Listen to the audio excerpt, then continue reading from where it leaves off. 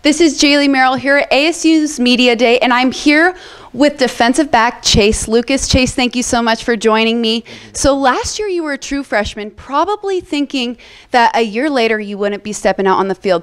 But here you are a year later and you're running out with the first team. How does that feel for you? It feels really, really good. Um, I put a lot of hard work into the off seasons. You know what I'm saying? During the season, got I got to redshirt, so I got to see how the older guys do it. Um, kind of get a feel of the ball, get a feel of the game, and get a feel for the coaches. So with Coach Bennett coming in, he's a great coach, great addition to the team, and I feel like me and him bond really well, and we really connect and click. So you know, he kind of put the pressure on me to do what I needed to do, and so I can get on the field. And so I took that with a full head of steam, and, and now I'm here today. So I appreciate all of it.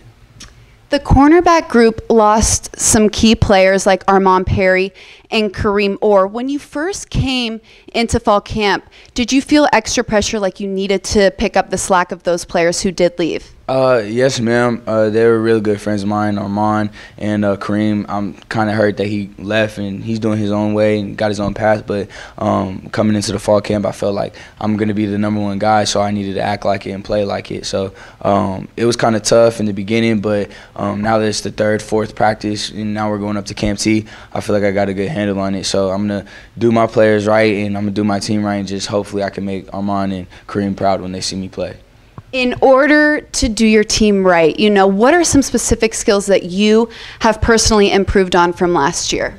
Oh, my size. I, I was real uh, kind of underweight and, and uh, flamboyant in the beginning. So now I'm I'm kind I got my uh, my build up. I'm 20 25 pounds heavier than I was last year. So I'm uh, really really experienced now. But the corner the cornerback position, I'm trying to learn all the plays, trying to get with Coach Benny and Coach Rushing at the end of practice, and trying to feel my way and trying to feel. Uh, more comfortable at the cornerback position. So I like my feet and my mobility. I feel is a great uh, way of my play. But my reception points and um, since I was playing offense uh, in high school, I feel like I'm real good at attacking the ball.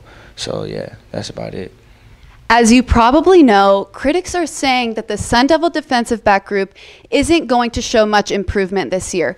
Do you take those voices and tune them out, or do you use that as motivation for yourself? Oh, I use it as motivation. I love the critics. I love it. Mm-hmm. I love it so much. I just embrace it. You know, I, I get on my phone. I don't tweet much. I just read it and just screenshot it and just keep it there, post it up, and I just let it build up inside of me. So that first game, man, uh, New Mexico State, man, I'm, gonna see, I'm gonna shut them critics up. I just wanted to say that, yeah. Yeah, haters are gonna hate, but you just gotta live it. Um, what do you think that this defensive back group is going to bring this year that is going to allow them to have more success than last year? Mm, we got intensity.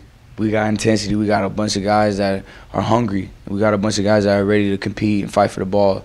So I feel like this year rather than last year everybody there was older seniors and everybody knew that there was a position that was going to be held now it's everybody versus everybody so we're out there trying to get each other better but we're also trying to fight for that spot and i feel like that wasn't a part of uh, last year's team so with the squad that we have now we're very very confident but we're very very ready at the same time well i'm looking forward to seeing that hunger and intensity for DevilsDigest.com, I'm Jaylee Merrill. Keep it right here for all the latest in ASU's fall camp coverage.